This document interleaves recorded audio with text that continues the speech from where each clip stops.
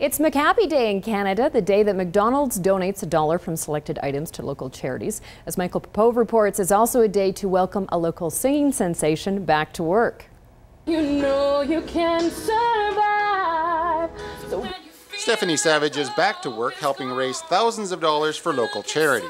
She's fresh off her appearance at the Voice of McDonald's singing competition in Orlando, Florida.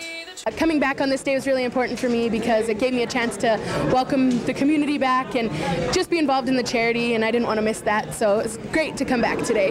Oh, it, perfect timing. I mean, how could you not be proud of her? You know, second place out of 20,000 contestants around the world, and she's joining us back on McHappy Day. Perfect timing.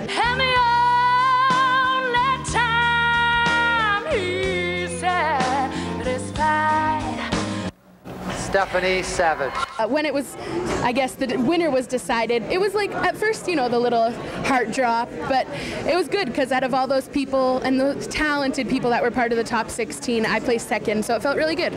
Would you like fries with that, sir? Proceeds of the sale of selected items on McHappy Day in Lethbridge will benefit the local family center as well as Ronald McDonald House. Overwhelmed by the support from her hometown, Stephanie says this is a great way to say thank you.